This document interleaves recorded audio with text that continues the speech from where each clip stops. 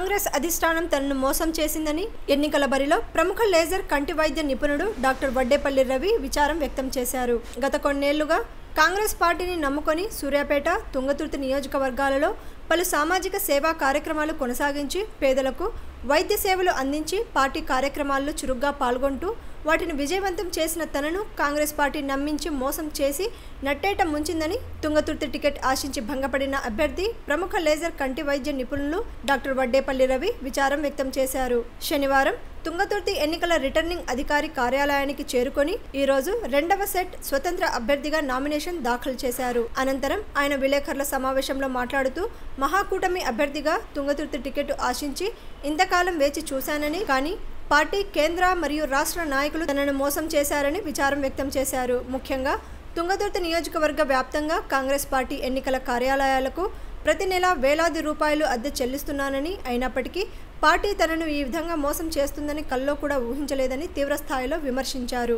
ఏది ఏమైనప్పటికీ తాను స్వతంత్ర అభ్యర్థిగా ఎన్నికల బరిలో నిలిచి తన సత్తా ఏంటో పార్టీ అధిష్టానానికి చూపిస్తానని ఆయన హెచ్చరించారు.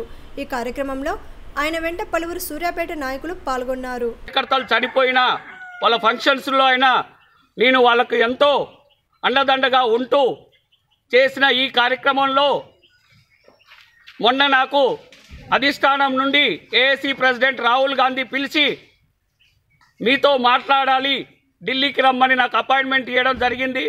నేను ఢిల్లీకి వెళ్ళాను. నాకు ఎనిమిదిన్నరకు అపాయింట్మెంట్ ఇవ్వడం జరిగింది. నాకు నాతో ఐదు నిమిషాలు మాట్లాడిన రాహుల్ గాంధీ నాతో మాట్లాడిన తర్వాత అద్దంకి దయాకర్తో కూడా మాట్లాడాడు. దీంట్లో ఏం జరిగిందో నాకు తెలియదు కానీ నాకు టికెట్ రాలేదు కాంగ్రెస్ పార్టీ నుండి. కానీ నేను ఒక్కటే కాంగ్రెస్ పార్టీని బతికిచ్చింది నేను. కాంగ్రెస్ పార్టీకి ఎంతో సేవ చేశాను.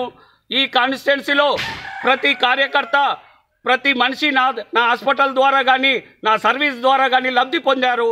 కాబట్టి నేను ఇండిపెండెంట్గా వేయడానికి ముందుకొచ్చాను.